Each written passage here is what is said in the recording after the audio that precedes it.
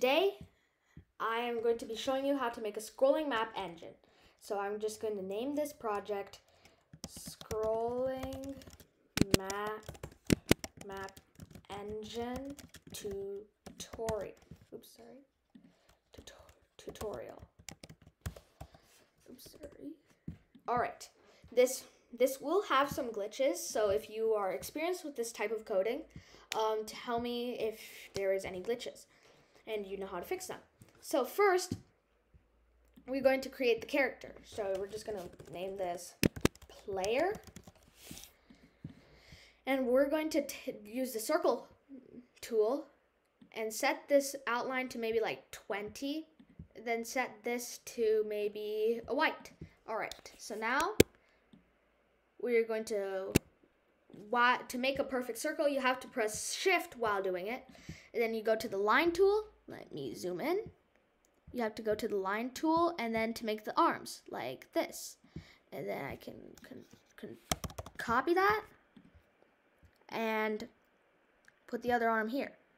So let me just quickly move it a little. And almost there. All right, this should work for now. Oops, sorry. Like this. All right, that should work. Uh, let's make it a little smaller. All right, now we're going to use the select tool, drag it over all of this, and click shift to get a good, like this. And now center it in the body. You don't want your your character to look like it's not exactly spinning around in a perfect circle. So now we are going to go to when flag clicked of forever. And point towards mouse pointers. So if you're new to Scratch, this will actually look cool and it will point toward the mouse pointer no matter where the mouse pointer is, even when it's in the blank space. So now we are going to do the, this for a future head of time in this video. So we're going to do a one flag click forever if touching color white, the white, so we can do this actually, just make it official. And then we're gonna do, just gonna use the, the normal one, the message one that's already in there. And we're going to make a new sprite. This is the map. So one thing I should tell you about is that you cannot make this big. You actually have to make it small, and I'll show you why later. So first, we are going to make the map. So we're going to make this a gray color. So let me set the outline to zero and set the map to probably gray. All right, so I'm going to make a big room in here and maybe one hallway here, maybe a tiny hallway here, maybe one here, and then one here, and then one here. All right, that's a decent map. Let me make one big room here. All right, so there is our map.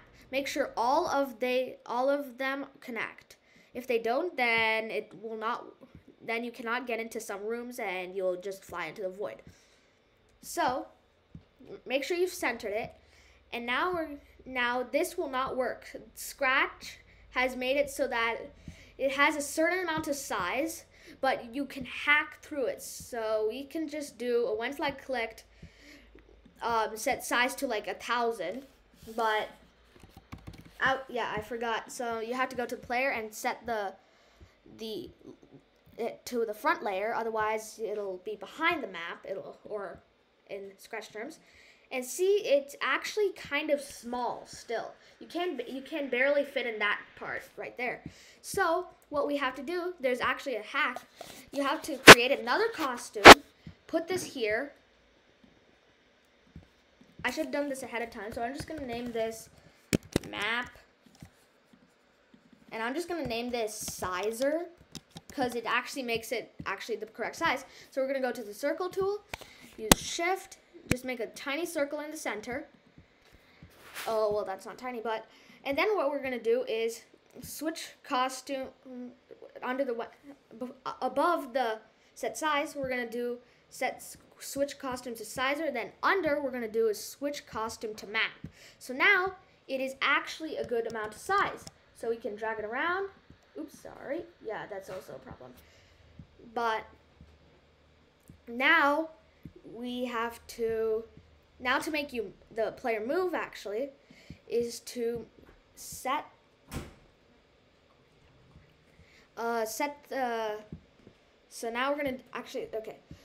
So we're gonna go to a when flag clicked go to x0 y0 because we don't want the game to start wherever the previous person was at.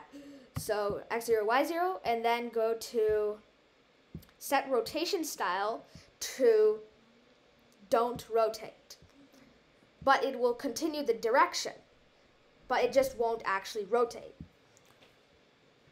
so now we have to go to forever. And I'm just going to use the WASD keys.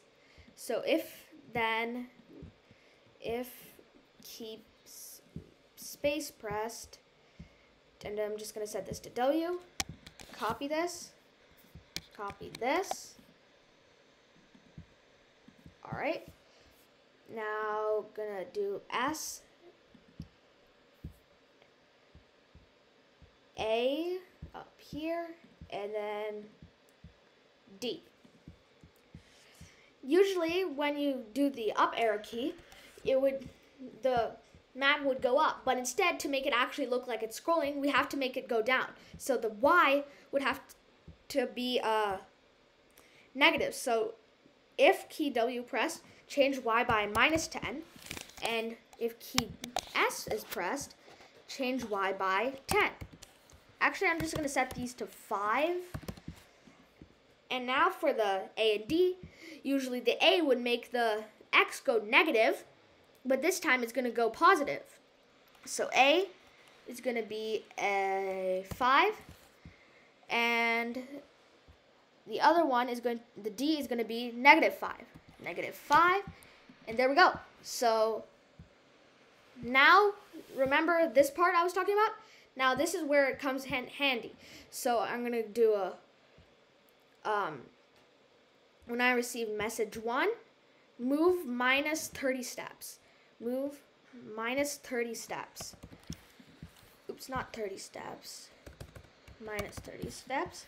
So now we have a fully working scrolling map. So let's see. See?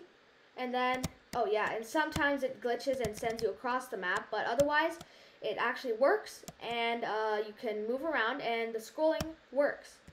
Yeah, so if you touch the wall right there, it might just send you flying like this. Yeah, but otherwise, the thing actually properly works. Yeah, that's also a glitch. I told you there might be some glitches, but it actually is great for a basic type of map. So yeah, that's all for today. Um, if you can upgrade it if you'd like you can add like enemies and stuff maybe find a way to fix the glitch but that's all for today bye peace out